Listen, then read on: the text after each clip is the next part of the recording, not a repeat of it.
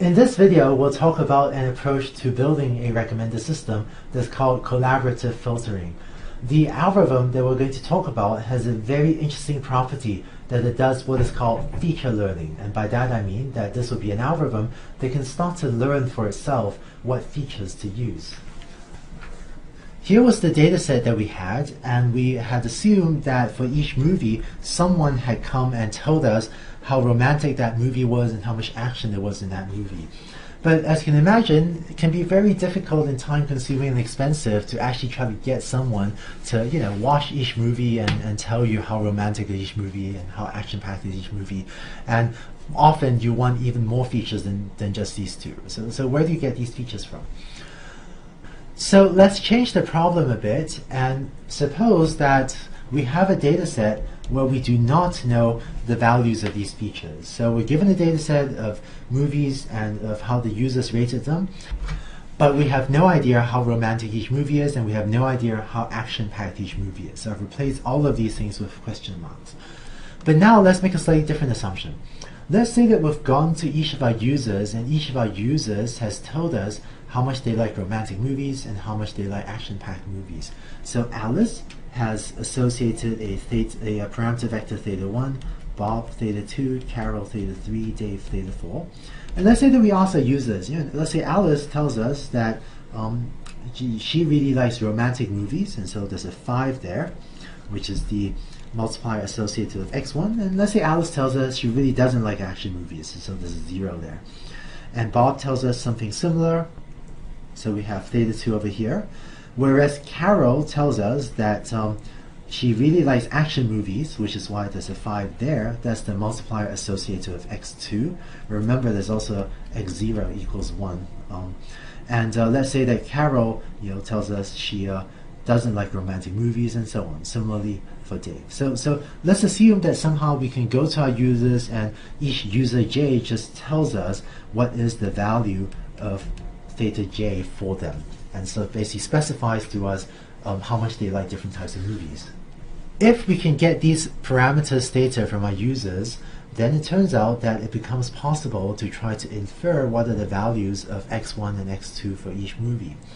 Let's look at an example. Let's look at the movie, let's look at movie 1. Um, so that movie 1 has associated with it a feature vector x1. And you know, this movie is called Love at Last, but let's ignore that. So let's pretend we don't know what this movie is about, right? So let's ignore the title of this movie. All we know is that Alice loved this movie, Bob loved this movie, Carol and Dave hated this movie.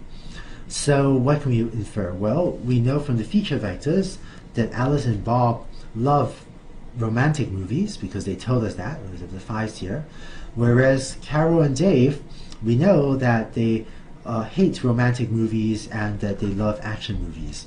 So, because those are the parameter vectors that you know users three and four, Carol and Dave gave us. And so, based on the fact that movie one is loved by Alice and Bob and hated by Carol and Dave, we might reasonably conclude that you know this is probably a romantic movie and it's probably not much of an action movie. This example is a little bit mathematically simplified, but what we're really asking is what feature vector should x1 be so that theta 1 transpose x1 is approximately equal to 5, uh, that's Alice's rating, and theta 2 transpose x1 is also approximately equal to 5, and theta 3 transpose x1 is approximately equal to 0, so this would be um, Carol's rating and theta 4 transpose x1 is approximately equal to 0. And from this it looks like, you know, x1 equals 1, that's the intercept term, and then 1.0, 0.0. That makes sense given what we know of Alice, Bob, Carol, and Dave's preferences for movies and the way they rated this movie. And so more generally, we can go down this list and try to figure out what might be reasonable features for these other movies as well. Let's formalize this problem of learning the features xi. Let's say that our users have given us their preferences. So let's say that our users have come and you know told us these values for theta 1 through theta uh, of nu, and we want to learn the feature vector xi for movie number i. what we can do is therefore pose the following optimization problem. So we want to sum over all the indices j for which we have a rating for movie i because we're trying to learn the features for movie i, that is this feature vector xi. So, um, and then what we want to do is minimize this squared error. So we want to choose features xi so that, you know, the predicted value of uh, how user j rates movie i will be similar, will be not too far, in the squared error sense of the actual value yij that we actually observe in the rating of user j on movie i. So just summarize what this term does is it tries to choose features xi so that for all the users j that have rated that movie, the um, our algorithm also predicts a value for how that user would have rated that movie that is not too far in the squared error sense from the actual value that the user had rated that movie. So that's the squared error term, and uh, as usual, we can also add this sort of regularization term to prevent the features from becoming too big.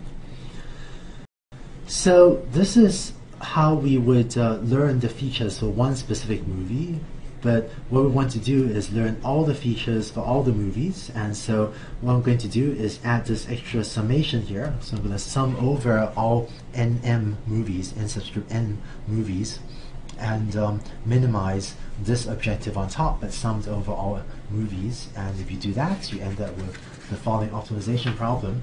And uh, if you minimize this you have hopefully a reasonable set of features for all of your movies. So putting everything together, what we the algorithm we talked about in the previous video and the algorithm that we just talked about in this video. In the previous video, what we showed was that you know if you have a set of movie ratings, so if you have the uh, data, the RIJs, and if you have the YIJs, right? So you have had the movie ratings, then given features for your different movies, we can learn these parameters theta. So if you knew the features, you can learn the parameters theta for your different users. And what we showed earlier in this video is that if your users are willing to give you parameters, then you can estimate features for the different movies. So this is kind of a chicken and egg problem, right? Which comes first? You know, do we want to, uh, if we can get the thetas, we can learn the x's. If we can, if we have the x's, we can learn the thetas. And what you can do, in, and then this actually works. What you can do is, in fact, randomly guess some value of the thetas, now, based on your initial random guess for the thetas, you can then go ahead and use the procedure that we just talked about in order to learn features for your different movies. Now, given some initial set of features for your movies, you can then use you know, this first method that we talked about in the previous video to try to get an even better estimate for your parameters theta. Now that you have a better setting of the parameters theta for your users, we can use that to maybe get an even better set of features and so on. You can sort of keep uh, iterating, going back and forth, and optimizing theta, x theta, x theta, x, and uh, this actually works. And if you do this, this will actually cause your algorithm to converge to a reasonable set of uh, features for your movies and a reasonable set of parameters for your different users. So this is a basic collaborative filtering algorithm. Um, this isn't actually the final algorithm that we're going to use. In the next video, we're going to be able to improve on this algorithm and make it quite a bit more computationally efficient. But uh, hopefully this gives you a sense of how you can uh, formulate a problem where you can simultaneously learn the parameters and simultaneously learn the features for the different movies. And for this problem, for the recommender system problem, this is possible only because each user rates multiple movies and hopefully each movie is rated by multiple users. And uh, so you can do this back and forth process to estimate theta and x. So to summarize, in this video we've seen an initial collaborative filtering algorithm.